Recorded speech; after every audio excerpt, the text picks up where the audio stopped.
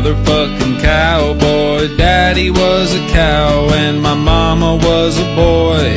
Half person, half cow, that's me, a cowboy. Hoodle-idle, hoodle-idle, life's a nightmare.